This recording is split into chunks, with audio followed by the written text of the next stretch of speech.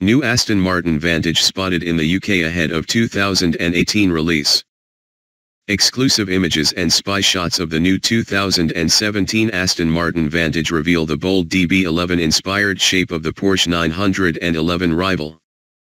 Aston Martin will continue its latest product offensive with an all-new, Porsche 911 rivaling, V8-powered Vantage that could go on sale early next year, and we've received fresh spy shots of a pre-production mule out and about in the UK. An attentive Auto Express reader sent these photographs to us of another Vantage mule in Cambridge. A license plate check reveals that the car is powered by a 4.0-liter engine, and it looks identical to the Vantage mule we spotted winter testing in the Arctic Circle last month.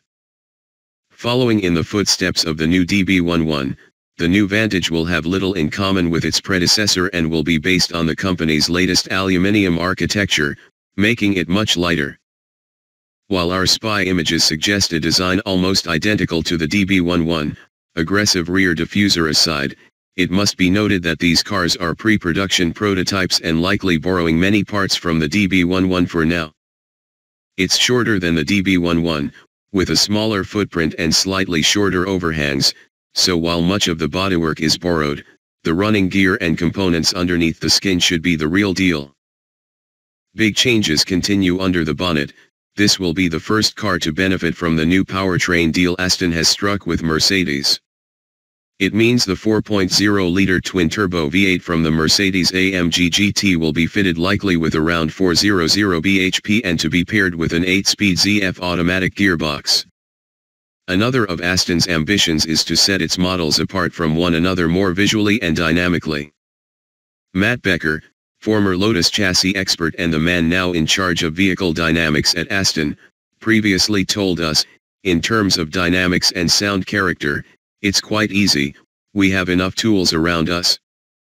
Because we are developing many cars at the same time we can collectively evaluate and develop them to make sure there's enough difference between the products to position them in the space they need to be relative to their competitors. Asked if the Vantage will be the best handling Aston to date, Becker replied, it will be. We're developing the car at the moment and the performance is already in a great place and there is still more to come. Our exclusive images give you an idea about how the Vantage could look when it arrives, more DB10 design cues are expected to keep it distinctive and mark it out from the DB11. Becker added, when I turned up at Aston, Andy Palmer CEO gave Marek Reichman, chief designer the brief to make all of the cars different enough so that his mother could recognize them. Palmer wanted me to make them drive like they look.